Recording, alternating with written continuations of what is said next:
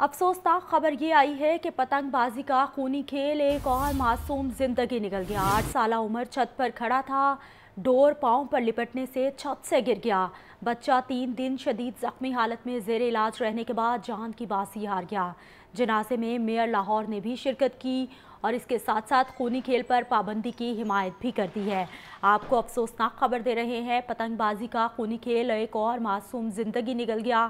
آٹھ سالہ عمر چھت پر کھڑا تھا، ڈور پاؤں پر لپٹنے سے چھت سے گر گیا۔ بچہ تین دن شدید زخمی حالت میں زیر علاج رہنے کے بعد آج جان کی بازی ہار گیا۔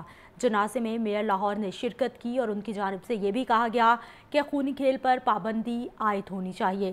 مزید تفصیلات جانیں گے سرفراز خان سے۔ جی سرفراز؟ جی بالکل انتہائی افسوس کی بات ہے کہ ایک اور زندگی اس خونی کھیل سے اجڑ چکی ہے۔ آٹھ سالہ عمر جو ہے وہ دھرمپورے کا رہائشی ہے اور یہ جو ہے وہ اپنی چھت پر موجود تھا۔ پتنگ کی ڈور جو ہے وہ اس کے پاؤں پہ لپٹی ہے اور اس کے بعد جو ہے وہ نیچے گرا۔